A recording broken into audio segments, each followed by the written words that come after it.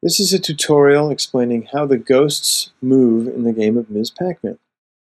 Before I start, I want to point out that this is going to be a beginner's guide.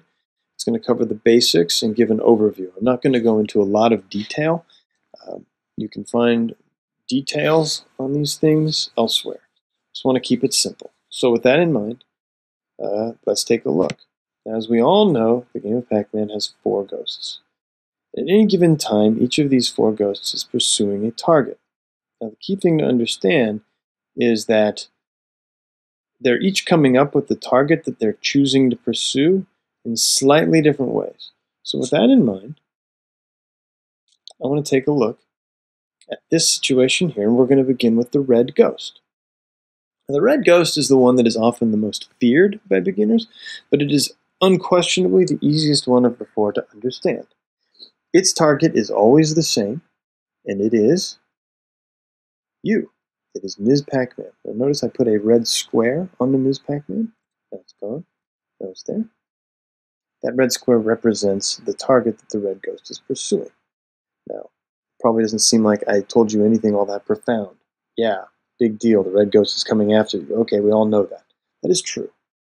But in this current situation, it would be good to know maybe whether or not the red ghost is going to continue going to the left or head downward. So, how do we know that? How do we know which way the red ghost is going to go? Well, the way it works is this, and this works for all the ghosts the same. Imagine a rectangle with the ghost at one corner and the target at the opposite corner. And you'll notice that in this case, the vertical sides of the rectangle are longer than the horizontal side. This is important because the ghost is always going to choose to take the path that is longer. In other words, it is always going to shorten the longer of the horizontal and the vertical. So, because the vertical is the longer distance in this case, we know that the red ghost is going to choose to head downward here. Let me show that with this path. There he is. He's heading downward. Now notice that uh, the ghost, you know, if everything were to stay stationary here, that the red ghost makes the decision to head left once it gets down to the uh, right right near the box. This is because that's the point where uh, the horizontal distance is the longer of the two distances. At that point, the horizontal is longer than the vertical, and so the red ghost makes the decision to go left there instead of continuing straight down. Now, I imagine that somebody out there is thinking, okay, well, what do I do if the the horizontal and vertical distances are the same. In other words, what if what if it's a square, not a rectangle?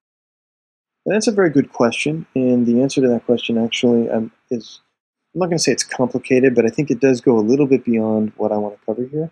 So I am going to say uh, to punt on that one. I'm going to say check the link at the bottom uh, of the notes where you can find more detail on that. Okay, so that's the red ghost. What about the pink ghost? How does the pink ghost decide to move? Well, the pink ghost is a lot like the red ghost, only instead of aiming for Ms. Pac-Man, it aims somewhere else. Pink Ghost aims for a spot approximately four dots in front of whichever direction Ms. Pac-Man is facing. So, in this case, Pink Ghost would be aiming right there. It's aiming in front of me. Now, this can be particularly interesting when I get to a spot like, say, here, where one might think that the pink ghost's best movement, its best action would be to come up and eat me, but it's not going to. Instead, it's going to aim to a spot roughly where the cherry is. And it's for reasons like this that the pink ghost has to be considered probably the easiest one to deal with. Uh, so the pink ghost goes whichever way you are facing, but with one caveat. So let me explain that to you now. Notice right now I'm facing to the right. So if the pink ghost were, if you were to draw the pink ghost target on the maze, it would be directly to the right. If I were to face downwards, the pink ghost target would be directly underneath me. And to the left, it would be directly to the left. So you might think that if I were facing upwards, that it would go to a spot directly above me, four dots above me. You would think that, but you would be incorrect. Turns out that whenever Pac-Man, Ms. Pac-Man, is facing upwards, the pink ghost doesn't aim for a spot directly in front of you, it aims for a spot up and to the left. This is due to a bug in the code and I'm including a link uh, to Don Hodges' site where he explains how they how that bug came about if you're interested in it. But this is definitely a little bit weird and, and it does throw people off. So keep in mind, the pink ghost aims for a spot in front of you unless you're facing upward, in which case it aims for a spot up and to the left. And this can make for some very interesting uh, moments uh, when you're trying to keep them in a group. Anytime you go up with a group of ghosts, you run the risk of losing Pinky because of his tendency to head to the left and not stay behind you. Okay, so we've covered the red ghost, we've covered the pink ghost. The fun now comes when we try to figure out what in the world is going on with the green ghost. The green ghost is far and away the most difficult to understand. Far and away. Um, and uh, it, in fact, it's almost impossible to figure out what the green ghost is going to do in real time.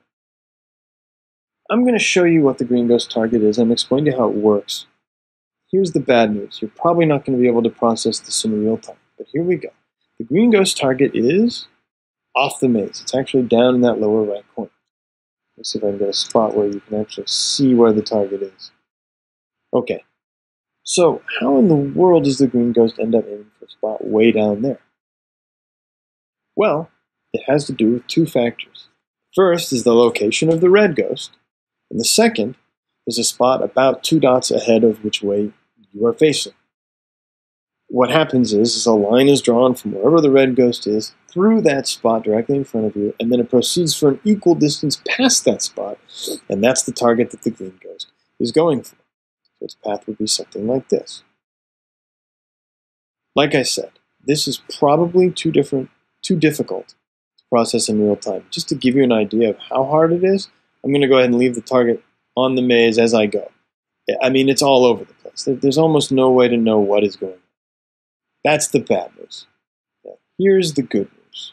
The good news is that the randomness associated with the green ghost can be contained if the red ghost and the and the green ghost are very close to one another. So note the situation I have here. I have the red ghost on top of the green ghost.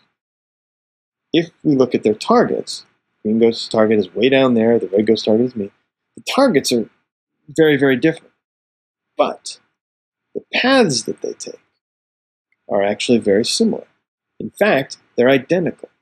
You'll see that the paths that the Green Ghost and the Red Ghost take at any given time are virtually identical. That you know, maybe the Green Ghost has a different target, but between the ghosts and Ms. Pac-Man, you'll see that they actually coalesce. They're the same. So, as a result, here's the bit of advice with the green ghost. The, green, the bit of advice is this. Keep the green ghost and the red ghost close together and you'll never have trouble. Or most of the time you won't have trouble. Separate them, though, and you'll find that life doesn't always go the way you want. I'm trying to actually separate them now. It's not easy to do. Ah, there we go. In this scenario, where they're not together, you'll find that uh, they are together. Okay, I'm trying to ungroup them and I can't. Isn't that funny?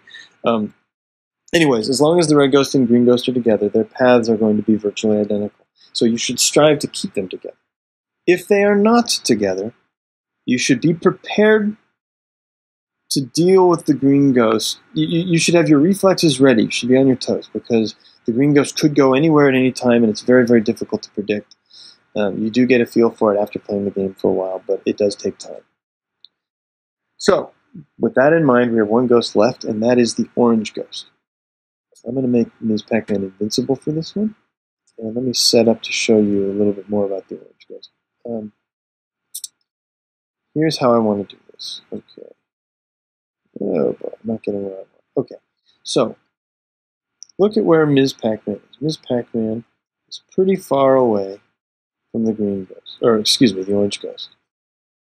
So I'm going to draw a little circle to demonstrate this. When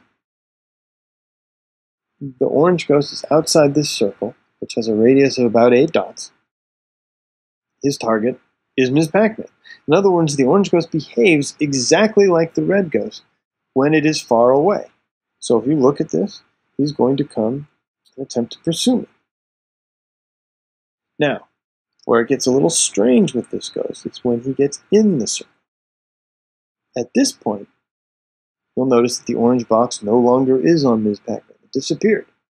And the uh, orange ghost's path, now, now he wants to go run away. What is that all about? Well, it turns out, if you look down in the lower left corner, there's the orange target. In other words, whenever the orange ghost gets close to Ms. Pac-Man, he makes a run for the lower left corner. When he is far away from you, he's trying to catch you. So I'm going to park the ghost so you can see this. Right now, his path, he's coming to get me. Here, his path is run away. Now, it's coming to get me. Now it's run away. So, the orange ghost can be very strange and, and maddening to deal with because even though he's never, he very rarely actually can reach you, um, the fact of the matter is that he always seems to be doing his own thing, which makes him hard to control. Unless you are between the orange ghost and the lower left energizer, he's going to be running away from you anytime he gets close to you. So that can make him a difficult one to keep in a group. And we'll talk more about that in another tutorial. But anyhow, that's how the orange ghost thinks. So uh, that covers it. That should do it. And I wish you the best of luck. You know, this information may not be useful to you right away, but I promise you that the more you play, the more that you're going to start to notice the ghost behavior and the more you're going to be able to deal with it. So I recommend that you now go off, play the game a little bit, and then come back and watch this tutorial in about a week after you've played a bit. Then go away, play some more, come back and watch this tutorial in about a month. Come back and watch this tutorial periodically. And uh, what you're going to find is that it's going to make more and more sense each time you come back. So good luck to you. I hope that this is helpful.